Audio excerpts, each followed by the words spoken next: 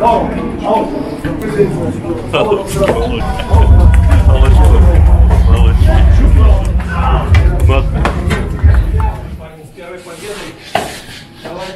первый камешек, первый кирпичик мы положили снизу. Снизу?